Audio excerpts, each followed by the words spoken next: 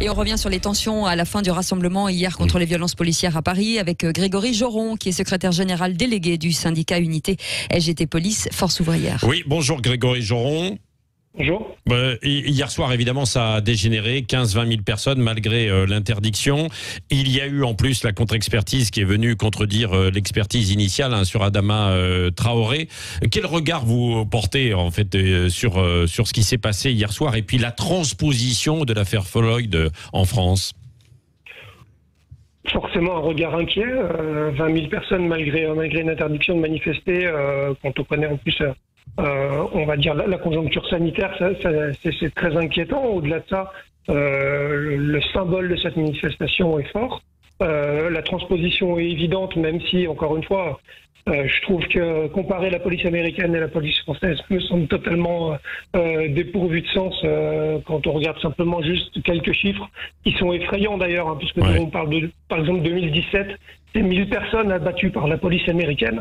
Euh, si on prenait cette, si on rapportait cette proportion-là euh, à la population française, ça veut dire que la police française aurait abattu 200 personnes en 2017. Mmh. Et juste pour vous donner un ordre d'idée, euh, ça n'arrive heureusement pas en France. Donc c'est un débat qui me semble franchement pas comparable. Oui, alors c'est vrai, mais alors dans les rangs de la police, est-ce que on, s'inquiète véritablement de ça? Il risque d'y avoir peut-être encore plus de difficultés dans les jours qui viennent pour assurer la sécurité et le maintien de l'ordre.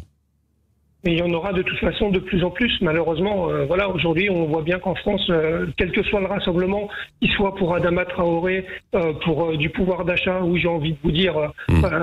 pas de manière cynique, mais c'est une réalité pour des haricots surgelés. Malheureusement, on aura de toute façon, à l'issue des violences, et on aura des voitures qui vont brûler. Où vous les avez vu hier des images, en effet, de, de, voilà, de, de feu partout au milieu de la rue. Alors après, le maintien de l'ordre. Plus précisément, c'est aussi l'acceptation euh, du désordre et d'un certain désordre. Euh, c'est pour ça que l'attitude et à mon avis, euh, l'option qui a été prise hier de rester à distance était la bonne, puisque ce sont des feux qui pouvaient, à part quelques-uns, on l'a vu sous le périph', mais en général étaient faits au milieu de la rue, donc il n'y avait pas beaucoup de risque de propagation. donc de fait, c'était ça ne servait à rien d'aller au contact pour déloger. encore une fois, le maintien d'ordre qui a accepté une part de désordre. Cette part de désordre-là a été acceptable, même si les images peuvent choquer. Et à mon avis, c'était une très bonne chose de pas engager euh, les forces au contact.